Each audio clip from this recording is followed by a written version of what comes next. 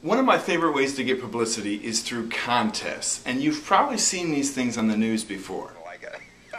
This is a great example. That guy's name is Michael Bohdan. He's actually a friend of mine. He owns the Pest Shop in Plano, Texas. He's a uh, exterminator, and about 20 plus years ago, he held a contest where people could send in roaches dressed up as celebrities.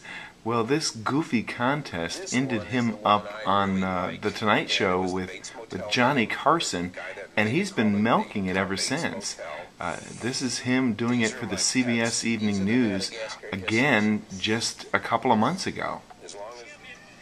This is the annual Nathan's Hot Dog Eating Contest. This is ESPN. Talk about some free publicity for Nathan's Hot Dogs.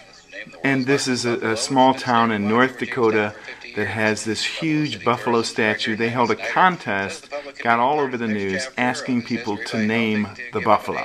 So hopefully that gets your creative juices flowing. You can't just call up a newsroom and say we've opened a business or we've come up with a new widget. Most of the time it's not very newsworthy. But sometimes if you come up with a contest, something fun, something that the, the media can really latch onto, you can have a mountain of publicity. I hope this made sense and if there's somebody else in your life who can use this video, I hope you'll pass it along. I'll see you next week. If you take that little flap of skin on turkey's beak and you flip it back, it looks like Elvis hairdo. it was a great laugh. It was awesome. He is just a live wire. That's all I got to say. It's a fantastic speech.